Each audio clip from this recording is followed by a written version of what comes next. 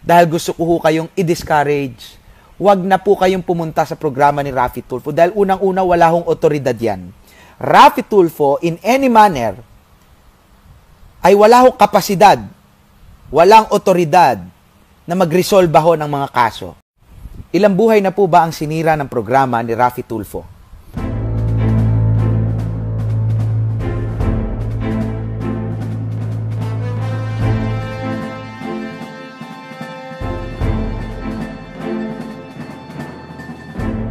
Siguro ho ay sa ilang taong pamamayagpag ng programang ito, nasubaybayan nyo na kung papaano umaandar at tumatakbo yung Rafi Tulfo in Action, yung kanyang show. At uh, ito po ay nabuo dahil sa mga sumbong, sa mga reklamo ng mga ordinaryong tao. So, dalawang mukha po ang ipinakikita dito, yung isang complainant at yung uh, respondent o yun hong nagrereklamo at yung inirereklamo.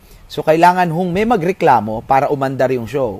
Imagine ninyo kapag mag-isa lang magsasalita doon si Rafi Tulfo at saka yung kanyang kapartner na matabang babae doon, eh baka ho hindi makakuha ng ganito kalaking atensyon. Pero dahil nga ho may ini-involve na mga problemang pang-personal, mga problema sa buhay, problema sa legalidad, ay nagkakaroon ho ng mas interesting na pagtatalakayan doon sa kanyang programa. At uh, ako ho'y nagtataka at nalulungkot para doon sa ating mga kababayan na pinipiling pumunta sa programa ni Rafi Tulfo. Unang-una, pinagpepiestahan ng buong mundo ang kwento ng personal mong buhay. Oho. At yun hong kahihiya na ibibigay sa iyo nung paglalahad mong ito, nung pagsasalaysay mong ito, ay hindi lang isang beses na kahihiyan. Hindi lang po ito kahihiyan na isang araw lang ito po'y panghabang buhay na kahihiyan. Halimbawa ho, itong huling episode nila tungkol kay Michelle at kay Tekla, yun hong pagpapatalsik ng likido mula sa ari ni Tekla, yun ho ang tumatak sa mga netizen nung unang beses na inere, yung sumbong ng Michelle. Alam nyo, naaawa ako doon sa baby ni Tekla at ni Michelle. Sapagkat ngayon, baby pa lang yun. Pero hanggang sa paglaki ng bata na yun, hanggang maging binata na yun, hanggang magkaroon na ng asawa yon at hanggang tumanda na yon, hindi pa rin makakalimutan ng tao at tatanungin pa rin sa kanya kung totoo ba na pinatalsikan ka ng likido ng tatay mo.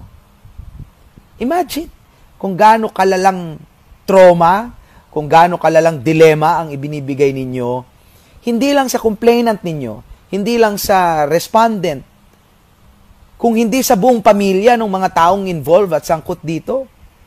Kasi ho, eh, ginagawa hong circus eh ginagawa kong katatawanan yung mga buhay ninyo. Kaya ako ho nagsasalita ngayon dahil gusto ko ho kayong i-discourage. Huwag na po kayong pumunta sa programa ni Rafi Tulfo dahil unang-una wala hong otoridad yan. Rafi Tulfo, in any manner, ay wala hong kapasidad, walang otoridad na mag-resolve ho ng mga kaso. Hindi nyo po ba napapansin? Nagiging nagiging uh, daluyan lang po siya nung proseso, pero definitely is not part of the process. Halimbawa ho, ang issue ay pagbawi ng bata, ano ba ang ginagawa ni Rafi Tulfo? I-ere muna yung away ninyong mag-asawa para makakuha ng atensyon ng mga netizens, mas maraming views.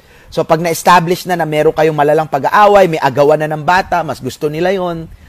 Ngayon, pupunta sila sa barangay, pupunta sila sa MSWD, pupunta sila sa pulis para mabawi niyo yung bata.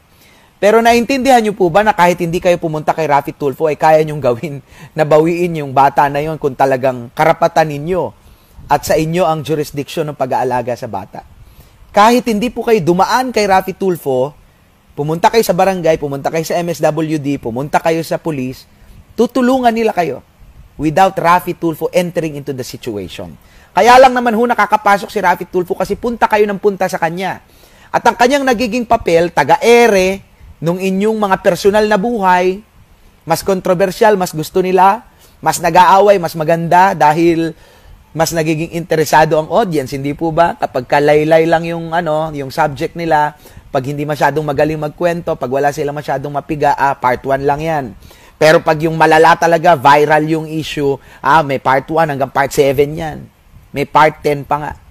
So, chop ho yung kwento ninyo at ginagawang monopoliya ng pagninegosyo sa YouTube. Oo. Uh, dito ho ay ibinebenta somehow ah, ay ibinebenta yung inyong kwento, yung inyong personal na buhay, ay ibinebenta sa buong mundo na kailanman ho ay hindi na ninyo maaaring bawiin kahit gusto man ninyo dahil ito po ay uploaded worldwide. Ito po ay dahil digital media na meron tayo ngayon sa pamamagitan ng internet at ng lahat ng makabagong teknolohiya habang buhay pong nakapaskil yung inyong kahihiyan. Oho. Eh, naalala ko nga, eh, merong isa doon na parang nanay na, mayroon siyang boyfriend at uh, nagtuturuan sila, sabi nung lalaki, ikaw nga nag-aya sa hotel, sabi naman nung lola, ikaw nga nagbayad eh. Nagpabili ka pa nga ng robas o ano ng ganyan.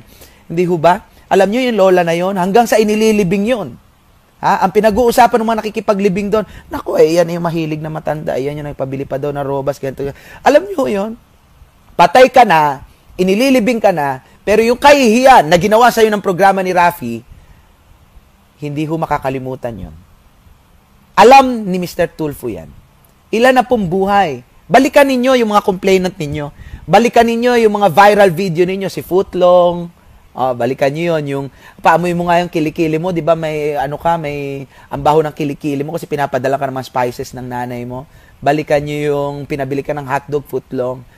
Uh, balikan niyo yung mga kwento na ginahasa ng ama, yung anak na huli ganito. Balikan niyo yung mga kwento na masyado ng maselan, yung mga kwentong masyado ng personal at kamustahin nyo kung ano ang buhay nila ngayon.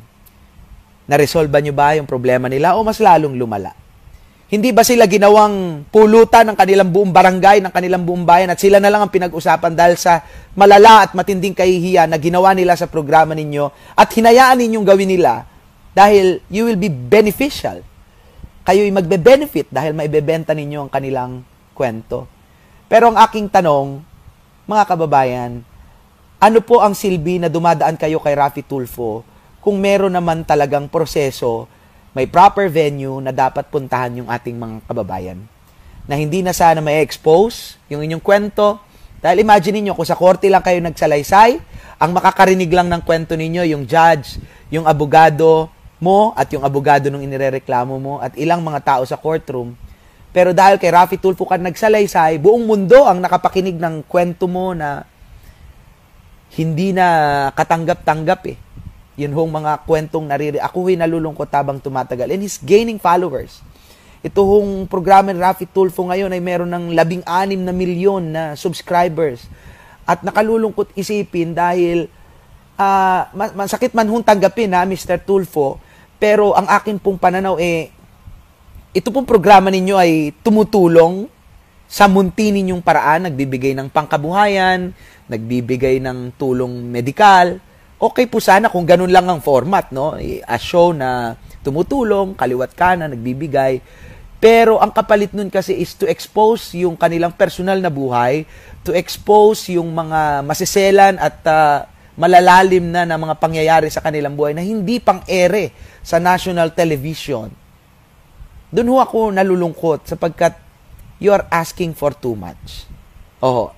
O hindi nyo man hinihingi yon, hinahayaan ninyo na yung complainant ninyo o kung sino man yon na mag-away doon o mag, magsabi ng mga hindi magagandang bagay sa TV na hindi niya alam na balang araw ay pagsisisihan niya. At gusto ko po sana na hamunin kayo, Mr. Tulfo, na balikan ninyo lahat ng mga naging complainant ninyo, balikan ninyo lahat ng mga inireklamo sa inyo na napagbintangan na dahil complainant lang ang pinakinggan, eh nahusgahan na kagad yung inireklamo. Parang nangyari kay Tekla. Parang nangyari dito sa lugar namin. Merong isang kapitan dito na inireklamo, eh hindi sinagot yung tawag ninyo. Dahil ba't naman nga kayo sasagutin? Eh hindi naman kayo otoridad. Wala kayong authorization para kayo eh mga siwa ng mga kaso-kaso. Hindi ho kayo huwes, hindi ho kayo pulis, hindi ho kayo hukom. So bakit kayo kailangang katakutan? Bakit kailangan na pag tinawagan ninyo ang isang inirereklamo, ay sagutin niya kagad kayo? Hindi niya ho obligasyon yun na ipagtanggol ang kanyang sarili sa inyo sapagkat meron pong proper venue. At pag hindi sumagot yung inirereklamo, huhusgahan na kagad ng mga netizens na nakapakinig ng kwento ng complainant. So ano po ang nagawa ng Rafi Tulfo doon sa kawawang inirereklamo na hindi naman narinig yung side? Sinira nyo yung buhay niya.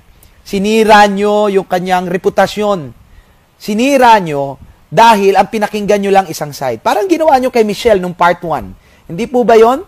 Hindi po ba Mr. Tulfo? nung part 1, nung Michelle Tekla issue, sirang-sira si Tekla. Dahil pati kami, paniwalang paniwala dito sa kwento ni Michelle. O nakatulong po ba yung programa niyo? May na-resolve ba kayo o pinalakas nyo lang at pinaingay nyo lang yung issue ng mag-asawang ito na ang magiging kawawa in the end yung kanilang batang anak? Yung kanilang baby na hanggang sa lumalaki siya, hindi makakalimutan ng tao na yung nanay mo nagsumbong, na yung tatay mo ay nagsarili, pinatalsik sa iyo ang likido and all. Kahit nag-aaral na yung bata na yun, kahit magbinata, mag-asawa, hindi ho makakalimutan ng tao yung isinalaysay na istorya ng kanyang mga magulang. At yung kahihiyan, hoy, grabe. Maawa naman kayo. Mr. Tulfo at sa lahat ng staff ng Rafi Tulfo in Action, I am doing this para sa mga kababayan natin na baka ho nawawalan sila ng choice at akala nila kayo ang solusyon. If you want to help, tumulong na lang. Pero alisin na natin yung paglalahad ng mga istorya, ganito, ganito. Palagay ko eh hindi na tama. Oo. At uh, masyado na hong masyado na hong lumalalim yung inyong programa, marami na kayong naaakay. Imbis ho na ito'y public service program, eh, nagiging entertainment. Hindi po ba, hindi po ba Mr. Tulfo, uh, kapag po uh, wala na sa align, o hindi na maganda yung kinekwento ng complainant ninyo, hindi ba mismo kayo pinagtatawanan nyo yung complainant? Ilang beses ho yun, Mr. Tulfo, na ikaw mismo tawang-tawa ka sa complainant o kaya tawang-tawa ka dun sa sagot ng respondent. Hindi ho ba pag ginagawa nyo yung pagtatawa na yon parang pinaglalaruan nyo yung mga nagrereklamo at inirereklamo sa inyo? Hindi ho ba ganon? Na sila ay nasa sitwasyon na wala silang, akala nila wala silang ibang pagpipilian, wala silang mapuntahan, kaya sila lumapit sa inyo. Pero pagdating dyan, pinagtatawanan nyo sila at ginagawa nyo silang laruan. Hindi nyo humay tatanggihan, it, ay ito po ay recorded ng maraming pagkakataon through video, kayo po mismo ang nag-upload. Kinikilabutan po ako kapag nakikita ko na nagtatawa ka at yung co-host mo at yung lahat ng tao sa inyong studio dahil nakakatawa yung complainant. Pero pinili nyo silang maging katawa-tawa. Kaya sila napunta dyan. Ang sa akin lang po, you had enough. You have 16 million subscribers. Videos are already posted on your YouTube account. Yan po'y kikita na kahit na kahit na hindi na kayo mag-upload ng mag-upload. Tigilan na po ninyo yung pagpapaskil ng mga video ng mga kababayan natin. Tigilan na ninyo ang pag-entertain ng mga complainant dahil wala ko kayong karapatan na kayo po ay manghimasok sa investigasyon. Bagamat kayo media, uh, hindi ko maintindihan kung bakit kailangan na ganong kalalim pati personal na buhay, uh, yun yung trauma na iiwanan ninyo.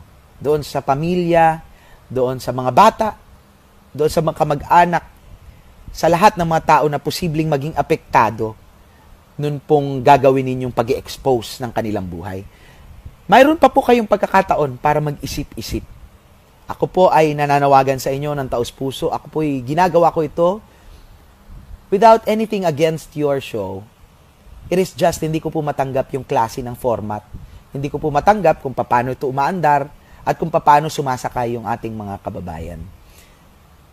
Kasi po sa bawat tawanan, sa bawat galit na nabubuo sa ating mga puso kapag nanonood tayo sa programa ni Mr. Tulfo, may buhay na nasisira. At sana ay tumugon kayo sa aking panawagan na itigil na ninyo i-guide na lang ninyo yung mga kababayan natin sa proper venue. Sila'y magtiwala sa ating judicial system, sa kakayanan ng kapulisan, sa otoridad ng barangay, ng MSWD o kung saan man na ahensya na maaaring makaresolba ng kanilang problema. But definitely, it's not you, Mr. Tulfo. Marami ka lang koneksyon, marami lang natatakot sa iyo. Kaya pag tinawagan mo si General, pag tinawagan mo si Director, pag tinawagan mo si Undersecretary, sumasagot sila. No? Pero pwede mong gawin yon without airing that sa telebisyon. Lalo na kung ang storya ay napakaselan, lalo na kung ang istorya ay maaaring makaapekto sa kinabukasan ng mga tao sa likod ng iyong complainant at ng iyong respondent. Yun lang po. Maraming salamat.